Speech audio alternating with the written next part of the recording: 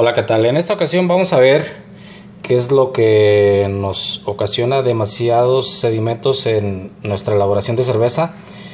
Eh, si se fijan, estos son los, uh, ahora sí que las partículas muy molidas o las partes del grano de la cebada muy molida. Eh, es por eso la importancia de nuestra cebada o nuestra malta no se tiene que moler demasiado para que no haga este, mucha, mucha basura, mucho sedimento. Eh, por eso es recomendable que nada más se quebre el grano y no se muela eh, demasiado para que no haga estas partículas que ya es casi casi harina, harina de, de cebada.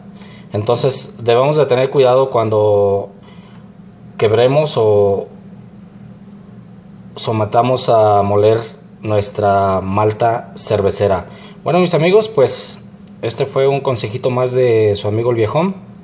Y mucha suerte en la elaboración de su cerveza hecha en casa. Adiós.